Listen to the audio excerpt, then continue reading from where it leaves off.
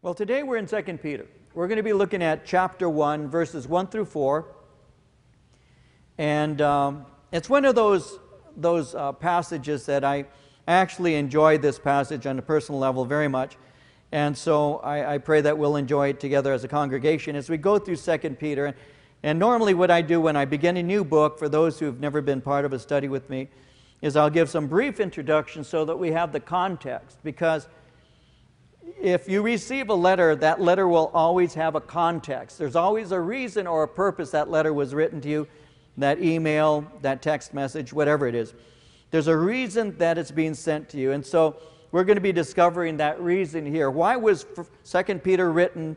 And uh, we're going to be looking at that in our introduction, and we'll see why in just a moment. But let's begin reading at verse 1, 2 Peter chapter 1, verse 1. I'll read to verse 4, we'll get into our study. 2 Peter chapter 1, beginning at verse 1, reading to verse 4. The Apostle Peter writes Simon Peter, a servant and apostle of Jesus Christ, to those who have obtained like precious faith with us, by the righteousness of our God and Savior, Jesus Christ. Grace and peace be multiplied to you in the knowledge of God and of Jesus our Lord, as his divine power has given to us all things that pertain to life and godliness, through the knowledge of him who called us by glory and virtue, by which have been given to us exceedingly great and precious promises, that through these you may be partakers of the divine nature, having escaped the corruption that is in the world through lust. And so, as we begin, allow me to give a few basic facts concerning this particular letter. Obviously, it's referred to in our Bibles as Second Peter, and it was written shortly after the first letter. And the date, for those who take notes and are interested in things like that, would be right around the year 64 through 66 AD. Notice with me that he doesn't name the recipients, they're unnamed. But it has to be the same group that he had written his first letter to because in 2 Peter chapter 3 verse 1 he says this. He says, "Beloved, I now write to you this second epistle, in both of which I stir up your pure minds by way of reminder." And so though they're unnamed, it's the same people who received the first letter. Now there is, as I mentioned a moment ago, there is a reason for this letter being written. And the key purpose is to cultivate Christian character by being conformed to Jesus Christ. He wants to make it very clear that believers have been called to know Jesus Christ, and he reminds them that they're called out of the corruption of the world to be conformed to Jesus. And what he's going to do, and we'll see this in verses 5 through 8, is he forges a chain of eight Christian virtues. And he's wanting to point out that their faith is useless if they don't live up to the purpose for which they were called. And so believers have been called in order to be conformed to the image. That's why you were saved, to be conformed to the image of Jesus Christ. God wants you to not only have faith, but He also wants you to have love. And when we look at in verse 5 through 8, when we look at the eight virtues that He lists out there, it'll start with faith, it ends with love, and He wants us to have these kinds of things. So God wants us to have virtues. He wants our life to be something that demonstrates that we have a relationship with God. But there is something that will prevent you from being conformed into the image of Christ. And what can prevent that, or at least can hinder that, what can be an obstacle, is false teaching. False teachers can influence you away from the work that God wants to do through His Word and by His Spirit. And what they'll do is they will inject into your life things that are not true about God, and they'll undermine your faith. And though they may not be able to steal your salvation, they certainly can make you useless in the kingdom of God. And so, not only does he want his readers to know that God wants to cultivate in them conformity to Christ, but he also is warning them against false teachers who are creeping in to the church bringing false doctrines. You see, as long as you have a mindset, a person has a mindset that it really doesn't matter what you believe as long as you believe something, then you're susceptible to false teaching.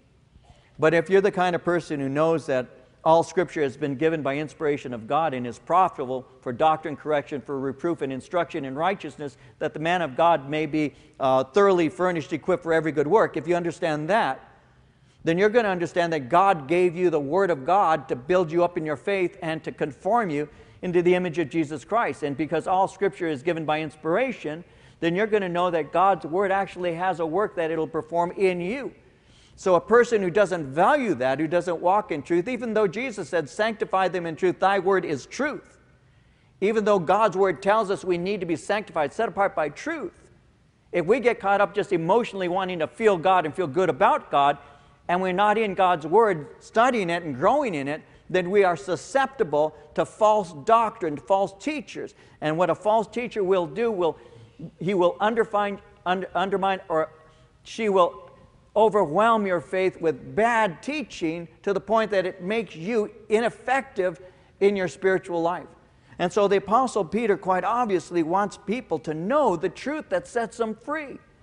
And so he's saying, I want you to know who Jesus is. I want to cultivate in you the, the, uh, the uh, character of God so that you are, are being built up in your most holy faith. And then, secondly, because he's aware that false teachers creep in and undermine he's warning them about false doctrine.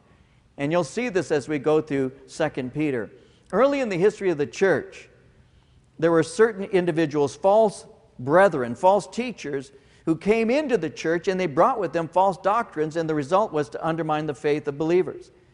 In the book of Jude, in verse 4, uh, Jude writes, For certain individuals whose condemnation was written about long ago have secretly slipped in among you they are ungodly people who pervert the grace of our God into license for immorality and deny Jesus Christ, our only sovereign and Lord. They secretly slip in amongst you and they undermine the work of God. Our church has been going, this fellowship here has been going over 31 years now. And on occasion, we have people who have secretly brought in what the scriptures call damning heresies, things that are not true we have had, after church services, we have our, our ushers and those who help us in the fellowship here.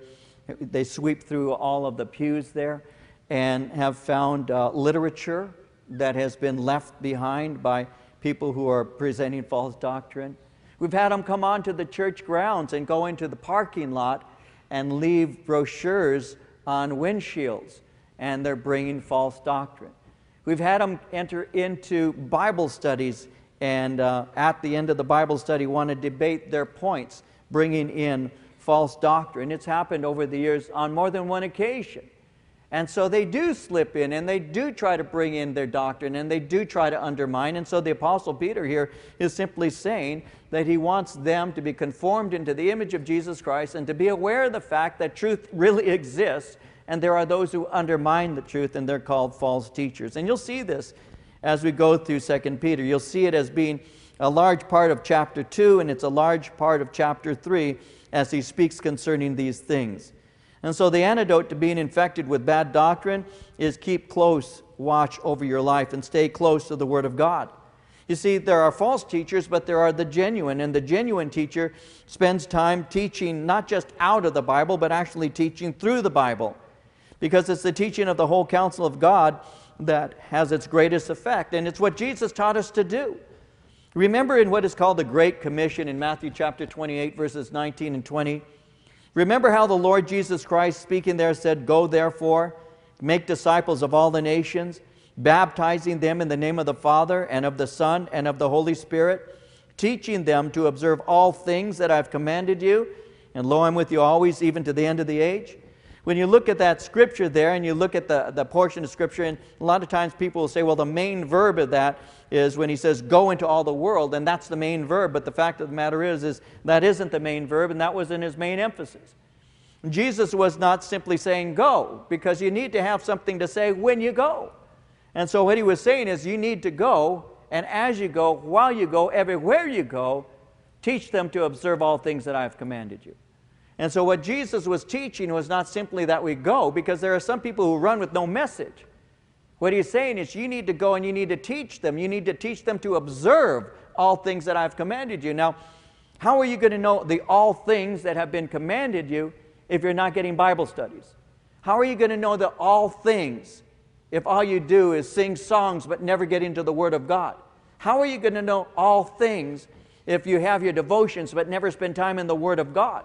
So it all begins in the Word of God. It all begins with rightly dividing the Word of truth. It all begins there, and then everything blossoms from there. But false teachers have a way of entering in, creeping in, and they speak to gullible and naive individuals, and they deceive them, and in doing so, they rob them of the joy that God would have them to have.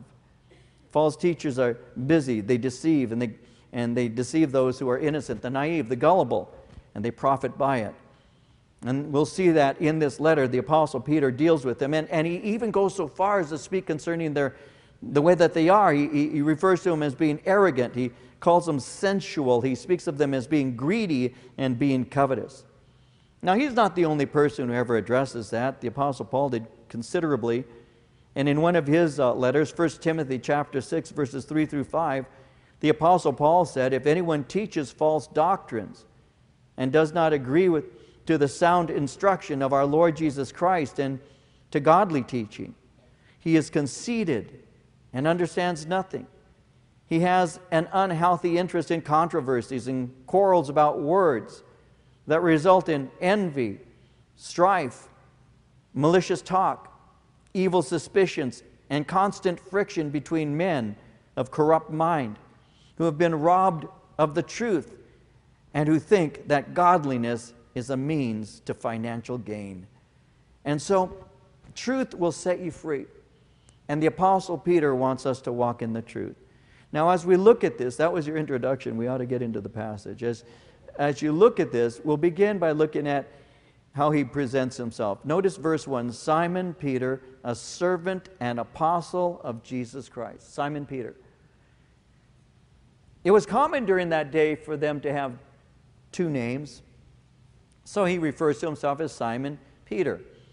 We know that Jesus Christ, when he saw him, as is recorded in John 1:42, said to him, You are Simon, the son of Jonah. You shall be called Cephas, which is translated a stone. The word Cephas is also translated by the word Peter. And so Jesus said, Your given name is Simon, but your new name that I'll be calling you is the rock. You're going to be a rock. Because God has a way of working in people's lives and changing them, right? That's what He does. So, Simon Peter, this is the only time in one of the letters you see Simon Peter. You see him using both names. It's the only time that any author uses both names. And so, so he begins by mentioning, My name is Simon, but I'm also known as Peter. Why would you do that? To remind the readers that I have an old life and I have a new one. Everyone in this room, before you were saved, have a reputation. You're known for a certain thing, whatever it may be. You may have been somebody who was known for your partying lifestyle, your drinking lifestyle, your drug lifestyle, your loose lifestyle, whatever it may have been, your greedy lifestyle, whatever you were before Christ. You were known that way. People knew you. They would speak of you. Oh, this is the one who parties hard. We know him. This person likes the, the, the club or whatever. You, you had that reputation, and that's what you were known for. So the apostle doesn't have a problem reminding people that at one time I was a natural man. He doesn't have a problem with that. But he also wants to let them know that what I used to be is not what I am now. So what I was then is now been eclipsed by what I am now. So I was once lost, but now I'm found. I was once blind, now I see. I was once unsaved, and now I'm saved. I had an old nature, now I have the new. And that's called being born again. So he begins right away by letting us know this is a person who had an old life, but he has the new in Jesus Christ. And as the new in Jesus Christ, he refers to himself as a servant. He's a servant and an apostle. So not only did, it, did I have an old life, but I have a new one. And my new life consists of me being a servant. Now, the word servant means uh, uh, it's an individual who's devoted to somebody else, disregarding their own interest. And he's saying, I am a servant. I am devoted to somebody else, and I am disregarding the things that at one time were important to me. And as a servant, I am obligated to carry out my master's orders. And I have been bought, and I've been bought at a great price. And so I will take out, I will do or perform those orders with humility and with joy. Bought with a great price. I'm a servant. You know, we've heard the gospel message so many times that sometimes we need to remember the cost of salvation. It cost God dearly for you and me to be saved and be called His children today. When He speaks concerning redemption, when He speaks concerning the fact that He is a servant, when He's alluding to the fact that to become a servant you needed to be purchased, He's speaking of a subject called redemption, and redemption is something that relates to us at one time, humanity at one time, being in what is called the marketplace of sin. Using that image from the day that he was writing, there were people who were sold as slaves who would be in a marketplace, and a bidder would come. And as the bidder came and saw these people being sold, the slaves would be sold to the highest bidder. And so, as the bidder is there looking at this particular slave, the bidder would make the decision to pay a certain price. And the price that they paid was a redemption price. They were purchasing them out of the marketplace. When that person was purchased by the highest bidder, that person who was bought is now owned by the slave master. What the apostle, in referring to himself as a servant, is simply saying is this I was in the marketplace of sin, but I was purchased by the highest bidder. The highest bidder was Jesus Christ, and the price of my redemption to be taken out of that marketplace was his blood. Now that's what Paul would say in Ephesians 1 7 when he speaks of Jesus in this way. In him we have redemption through his blood, the forgiveness of sins according to the riches of his grace. And so the apostle is saying, I'm a servant of the Lord Jesus Christ. I've been redeemed out of the marketplace of sin. I am now his servant. I am his slave. He is my master. He has purchased me. Now, if I were a person purchasing a slave at that time in the marketplace, I had the option of releasing them, setting them free. And so the Apostle Peter is one who has been set free by Jesus Christ. And yet he has become what we would call a doulos, a voluntary bond servant. Even though I am free, I have chosen to willingly remain as a slave to my master Jesus. And it cost the blood of Christ. 1 Corinthians chapter 6 verse 20 says you were bought at a price. Therefore, glorify God in your body and in your spirit, which belongs to or which are God's. I am a servant, but I am also an apostle. That word apostle speaks of a delegate, it's a messenger, it's somebody who has been sent forth with orders. So I am not only a servant, he's saying, but I am an apostle, under orders to fulfill the mission that has been set before me, and he's saying, and I will do so. Now, who is he writing to? He says, To those who have obtained like precious faith with us. So he's writing to Christians. That word obtained means to receive by divine allotment. I have obtained this, but I didn't do so through personal effort. I didn't receive this by trying hard. You know, every man made religion is of such nature that it normally will tell you, in order to get right with the God that you choose to serve, you're going to have to do something very difficult, whatever it may be. The Greeks used to have various myths where it would emphasize that. They would actually show that. If I was an individual who wanted to have uh, good sailing and I was off to fight a war and I was a king, I might take my daughter and I might have her sacrificed in order that I might placate the anger of the, the God of the sea, in order that I might be able to cross over and be victorious in my battle. And it was always going to cost me some great thing. It was always going to cost me some great thing in order to have the favor from this God. That's part of paganism. That's how pagans think. The harder I try, the more I do, the better it's going to be for me. But in Christianity, it isn't us making that big payment, it was God making the payment. It wasn't by my personal effort, it was not through works of righteousness which I have done, but according to his mercy, he saved me by the washing of redemption and the renewing of the Holy Spirit. It's by the grace of God that I've been saved. And that's how I have been set free to follow Christ. The same is true for you. And so I've obtained this, not by some effort on my own part, but it was a divine allotment. It was given to me by God Himself.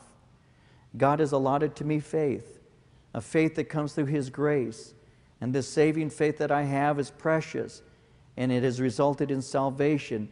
But this faith that I have been given to me to be saved is also a faith that I communicate to other people. And I take that faith and I give it to others through the message of the gospel. And God makes it possible for people when they hear that saving uh, message of salvation. God has made it possible by His Holy Spirit to convict the heart of those who hear it so that they can be brought to Christ in faith. And so He's speaking concerning that. Now He goes on and He says in verse 2 Grace and peace be multiplied to you in the knowledge of God and of Jesus our Lord. I want you to notice something. I point this out to you quite often, but notice the order grace and peace, he says, be multiplied to you. He doesn't say peace and grace, he says grace and peace. And that's because the biblical order is always grace before peace. We live in a world that people are dying for, for peace. They desire peace in the worst way. They desire it so greatly. But the point he's making is you can never have peace unless you have God's grace, and God's grace is unmerited favor. Peace is something that God will give to you, but He gives to you after you have received His grace. When you receive peace, you have the peace that you get with God. Before you get saved, you are in hostile opposition. You're at war with God. God says something is up, you say it's down. God says it's far, you say it's close by. God says it's, it's black, you say it's white. God says it's sweet, you say it's sour. God says, Come over here, you say, I'm going over there. That's the hostility. And then we create ways through our religious, whatever it may be, our, our, our practices to, to try and somehow have a relationship with God. But the bottom line is, is in reality, we're not really pursuing Him at all. We're actually running from Him because we're developing systems that are going to keep us from experiencing His grace. And the only way that I can have a relationship with God is when I give up. When I give up, I can now have peace with God. The Bible speaks concerning the fact that we are in hostile opposition, that the, the unspiritual man doesn't know the ways of God, the things of God, and that we are in a constant hostile opposition towards God. We're in constant warfare. That's what the Bible teaches very clearly. What God has done is God has won the war, and God, through what is called the message of the gospel, has given to us terms of peace. It's an unconditional surrender that we're called to. It's not a negotiated peace, it's an unconditional surrender where he says, I won, you haven't. I declare this, you need to receive it. That's called the message of the gospel.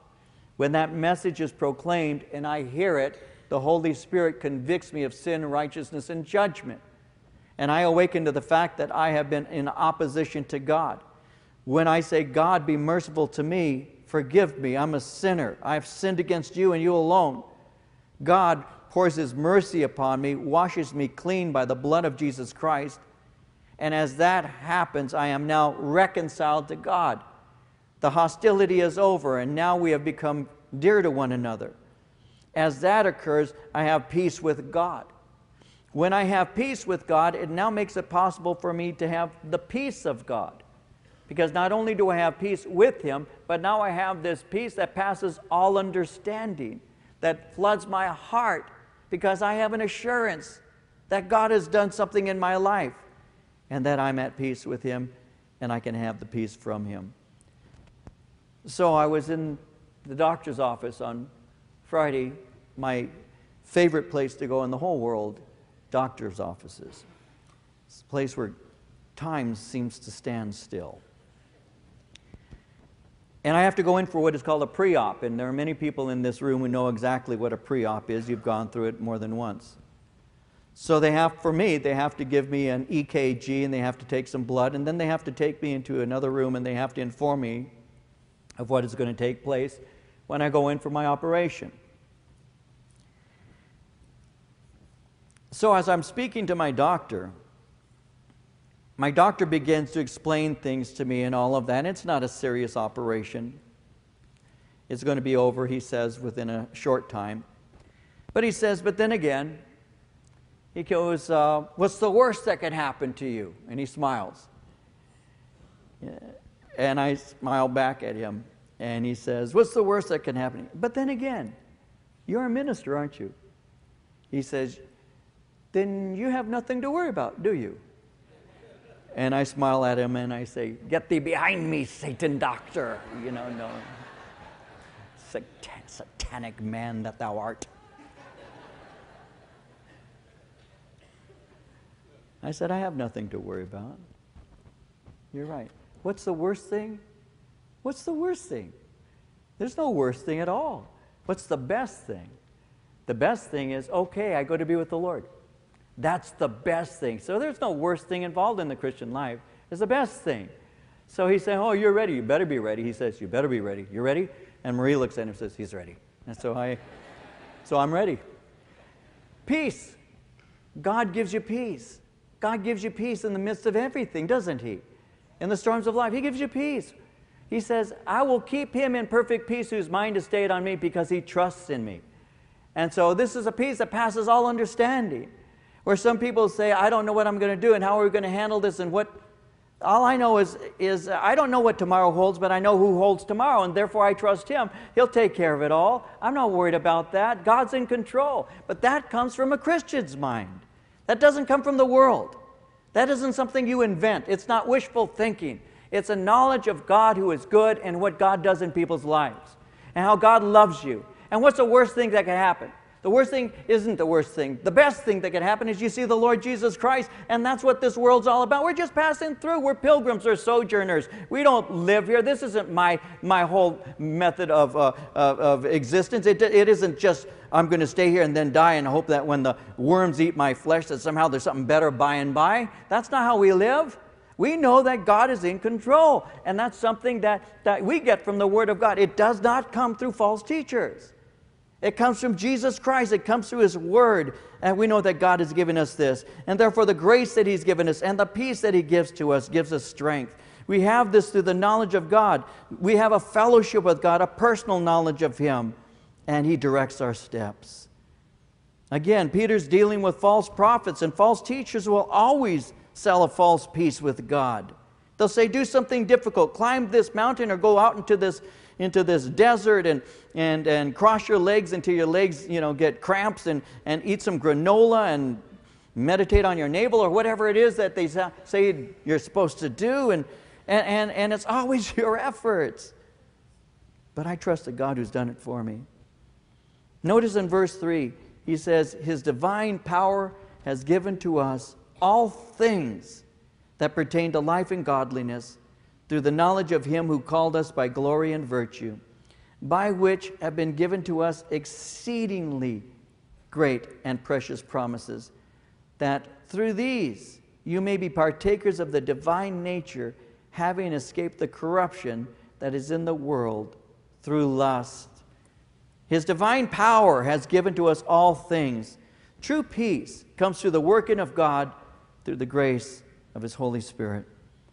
God has provided in such a way as to give us power to resist the assaults of false teachers, and God's power has given to us all things that pertain to life. Notice with me life and godliness. All things that pertain to life and godliness. The working of the Spirit and spiritual gifts we've received is for fullness of life and a godly walk. God intends on blessing His kids. He loves us. And He wants us to know He has made provision for us. And He does so once again because He is so terribly, terribly in love with you. He loves you. Jesus in John 10, verse 10 said, The thief comes not but for to steal and to kill and to destroy. I am come that they might have life and that they might have it more abundantly. In John 17, 3, this is life eternal, that they might know you, the only true God, and Jesus Christ, whom you have sent. Life in the Lord doesn't begin when we depart from here and are in heaven with him. Life begins here in Jesus. Psalm 84:11 says, "For the Lord God is a sun and shield. The Lord will give grace and glory. No good thing will he withhold from those who walk uprightly. Romans 8:32 says, "He who did not spare his own son but delivered him up for us all, how shall he not with him also freely give us all things?" Philippians 4:19, "My God shall supply all your need according to his riches in glory by Christ Jesus." My God shall supply all your need. My God doesn't supply all my greed, He supplies all my need. He takes care of me. Give us this day our daily bread. He takes care of me day in and day out. And so he says, He gives to me all things that pertain to life. He gives to me all things that pertain to godliness. Godliness speaks of my walk, the walk of a believer. Godliness is speaking of a devoted life, a life that's been empowered by the Spirit and revealed by a disciplined pursuit of God. And life in godliness result from the experiential knowledge of God and the pursuit of God. It comes through abiding in the true vine, Jesus Christ, and producing the fruit of the Spirit. Now, notice in verse 3 how it says, He called us by glory and virtue. Glory is revealed in Jesus, and virtue shares with us his moral excellence. His physical glory, his glory in a physical sense, was revealed in Jesus, and his excellence was understood in the inner man.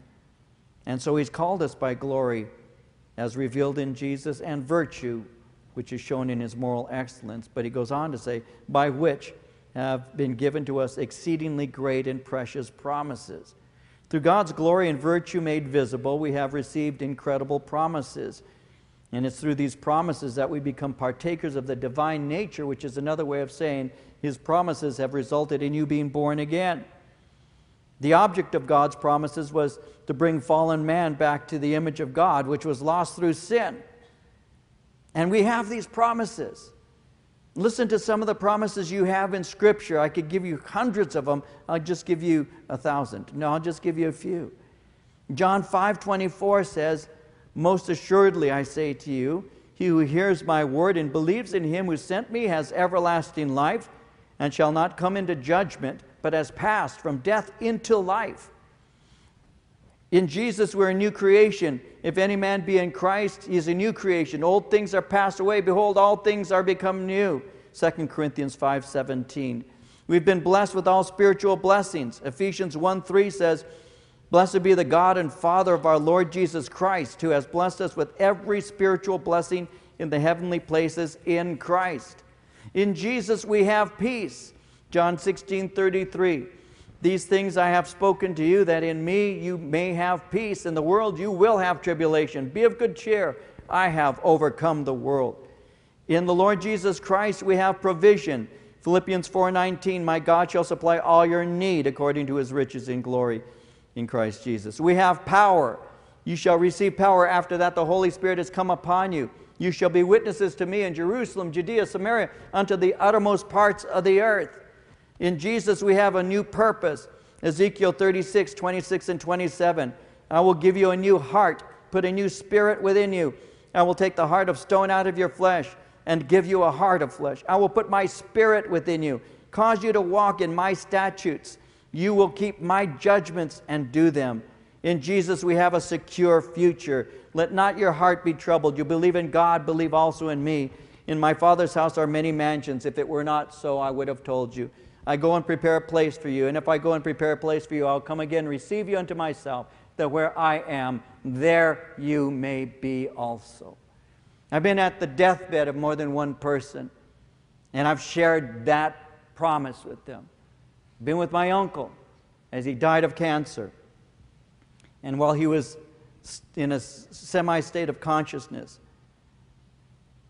I touched him on his shoulder and I said, Uncle Ray, Jesus has said, and I quoted John 14, I go to prepare a place for you. I've been at the deathbed of a woman dying of lung cancer. And I said to her, Jesus has gone before you to prepare a place for you. I've been at the deathbed of my father. To my father, I said, Daddy, Jesus has gone to prepare a place for you. because that's His plan for us. We don't get that from false doctrine, guys. We don't get that from false religious systems. We don't get that hope from doing the best that we can by crawling up aisles or by doing hard things like climbing mountains or starving our bodies. We get that hope from the gospel of Jesus Christ. And He has that. We have precious promises that God gives to us. So the man comes home. He hasn't been in his home for many years. As a young man, he had moved away. But his mama stayed in his childhood home. And he hasn't seen mama for a long time. So he came home to see his mom. He walks up those familiar sidewalks, sidewalks he used to play on as a child. Comes to the front gate there in the fence. He begins to open up that gate to his childhood home, and it's falling off its hinge. And then he looks at the rest of the fence, and it needs a good painting. The paint is flaking and falling off in various places, it's bubbled. He opens and walks through that gate, and, and there's no more grass in the front yard like he remembered as a child. It was over now, it's overrun with weed. And he looks to where all those plants used to be so carefully tended and so beautiful, and, and there's nothing there anymore but dirt. He walks up the wooden steps to go up into the front porch, and each one is creaking, and he sees that it's in disrepair. And the porch needs to be repainted, it needs to be rebuilt, it's rotting. And as he comes to the front door, he looks at the screen as he's about to knock on the door, and the screen is ripped. He opens the door and knocks on the door, and the door swings open, and his mama standing there with tears of joy in her eyes. She hasn't seen her son in many years. She grabs him and says, Welcome home, son. He walks in, and as he walks in, the carpet is threadbare. It's been walked on so often that there are holes in the carpet. He looks around, and the paint needs to be repainted, and the smell of dust is throughout the house, and the furniture is worn to the point where she's thrown covers over it to hide the holes. And he's upset, and he says, Mom, what happened? What happened to the house? What happened to the yard? What happened? She says, Baby, I don't have the money to keep these things up. She says, I, I'm just barely making it. I haven't been able to take care of the yard and fence and porch and furnishings. What did you do with the money orders I've been sending to you? Mama, I've been sending you money orders for years. Every month, I've sent you money to take care of the house. Every month, I've sent you checks, hundreds of dollars, thousands of dollars over the years that should have been cashed and used. Mom, I sent you money orders. She says, Money orders? What are you talking about? What's a money order? Money orders, Mama. It's like cash. You take it and you cash it and you get the money. She says, I don't, ha- I don't know what you're talking about. What did you do with all those letters I sent you? All she says, you mean with those little pieces of paper? Yes.